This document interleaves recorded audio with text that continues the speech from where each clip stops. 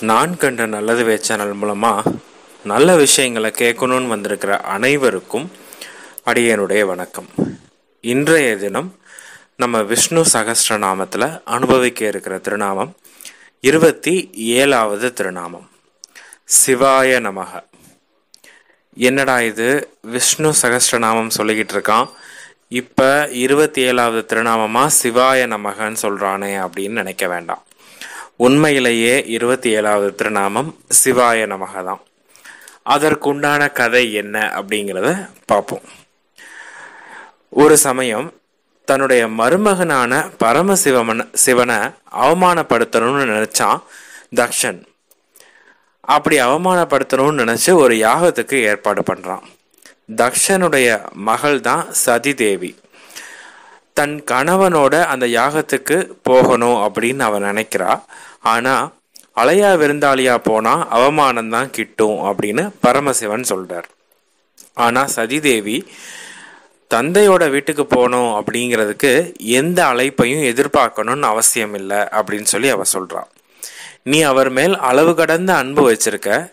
அதனால நீ இப்படி சொல்ற. ஆனா அவர் என்னைய மதிக்கிறதே இல்லை.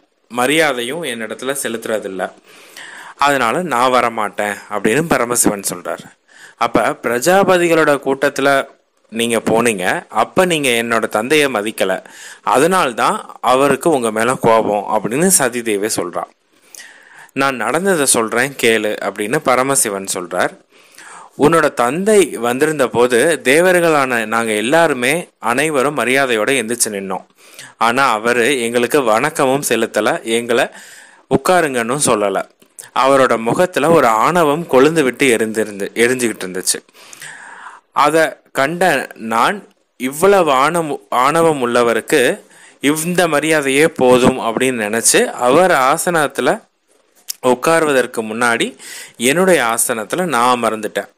அதை ஒரு பெரிய தவறாக எண்ணி எல்லாரிடத்துலையும் நான் அவரை அவமானப்படுத்திட்டேன் அப்படின்னு சொல்லிக்கிட்டு இருக்கார் அப்படின்னு சொல்லி சொல்கிறார் அப்படின்னா நீங்கள் வர வேண்டாம் நான் மட்டுமாவது போயிட்டு வரேன். என்னுடைய சகோதரிகள் அவங்களோட பிள்ளைகள் என்னுடைய மைத்துனர்கள் எல்லாரையும் ஆகத்துக்கு வருவாங்க. அவங்கள நான் பார்க்கணும். எனக்கும் ஆசை இருக்காதா அப்படின்னு கேட்டதுனால நீ போகணும்னு முடிவெடுத்துட்ட. அதனால தடுத்து பயனில்லை நீ போயிட்டு வா. ஆனால் நீ அவமானத்தோடு தான் திரும்ப வருவேன்னு எச்சரித்து அவளை அனுப்பி வைக்கிறார் பரமசிவன். யாகத்துக்கு போன சதிதேவியை பார்த்த தக்ஷன் சிவன் என்ற சொல்லுக்கு மங்களங்களுக்கு இருப்பிடமானவன்னு பொருள். ஆனால் உன்னுடைய கணவன் பெயரளவில் மட்டும்தான் சிவன். மண்டையோடு சாம்பல் மயானம் என எல்லா அமங்கலங்களையும் சேர்த்து வச்சுக்கிட்டு அதோட தொடர்பு இருக்கிறவன்.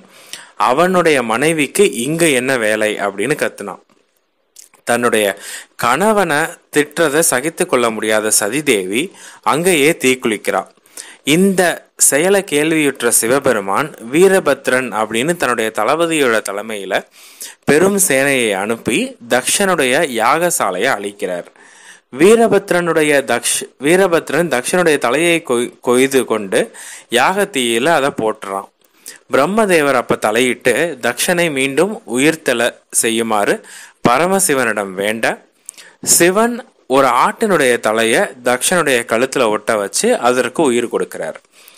தீயில இறங்கிய சதிதேவி பர்வதராஜனுடைய மகளா பார்வதி அப்படிங்கிற பெயர் பெற்று பரமசிவனை கல்யாணம் பண்ணணும்னு விரும்பி தவம் புரிகிறான்.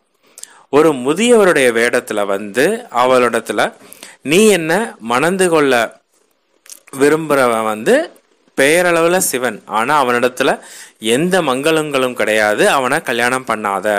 அதற்காக தவமும் பண்ணாதன்னு சொல்லி பார்க்குறார். ஆனால் அவ விடாமுயற்சியோட நான் பரமசிவனை தான் கல்யாணம் பண்ணுவேன் தவம் இருக்கா?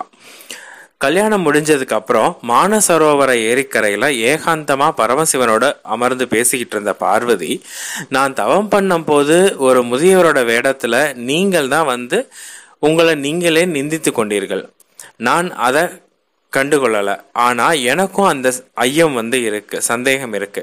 கையில் மண்டையோடு சாம்பல் மயானம் இப்படி எல்லா விதமான அமங்கலங்களையும் வச்சிருக்கிற உங்களுக்கு சிவன்னு எப்படி பெயர் வந்ததுன்னு இப்போ தான் கேட்குறா அதற்கு பரமசிவன் சொல்கிறார் திருமாலுடைய ஆயிரம் பெயர்களில் இருபத்தி ஏழாவது பெயர் சிவா.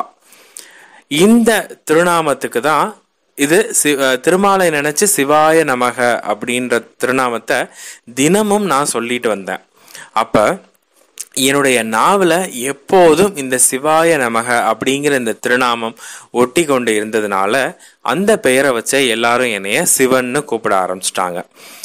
நான் மயானத்தில் நடனம் ஆடினாலும் மண்டை ஓட்டை கையில் வச்சிருந்தாலும் சாம்பலை உடலில் பூசிக்கிட்டாலும் என்னுடைய சிவாய நமக அப்படிங்கிற இந்த திருநாமத்தை நான் உச்சரித்துக்கிட்டே இருக்கிறதுனால சிவன் அப்படிங்கிற இந்த திருநாமத்திற்குரிய திருமால் அந்த அமங்கலங்கள் எதுவுமே என்னை தீண்டாதபடி செய்து விடுகிறார்.